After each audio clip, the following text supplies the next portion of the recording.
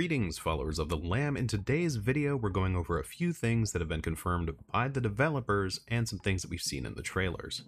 First, we have the devs confirming three save slots, a blessing for people who maybe plan to stream it, but still want a file where they can play casually. Also, key remapping and mouse support has been confirmed on game release, and I've been seeing a lot of people ask for this during the demo.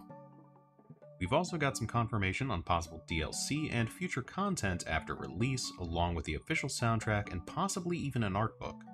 Moving on to gameplay, the Lamb will be able to equip different capes, granting them various passive abilities. In the newest sermon, we have what could possibly be a map used for fast traveling, meaning we may be able to go to different areas outside of crusading. The newest sermon has introduced a few new characters and merchants, Ratau is back and now plays Knucklebones against the Lamb for fun. Helob the Spider sells those that they've captured to you if you have enough coins to buy them. The fisherman who initiates us into the fishing minigame was also introduced. However, looking behind him, we can see what looks like a merchant table that sells cards, and another that sells decorations for a village. We see another merchant who sells cards and decorations as well. From the information we have from the demo, we can guess there's a fair few amount of decorations that we can collect and each merchant specializes in a certain aesthetic.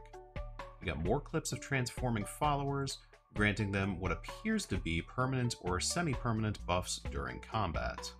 Lastly, we have what looks like permanent follower buffs on the village management side of the game. Seeing this is interesting as so far we haven't gotten too much information on how followers directly help us. For now, this is only speculation supported by what we have so far. Hopefully we will see more information surface closer to the game's release, but until then we will continue to post Cult of the Lamb updates and trivia as new information becomes available. If that sounds like something you'd like to see, please consider subscribing. Thank you very much, and have an excellent day.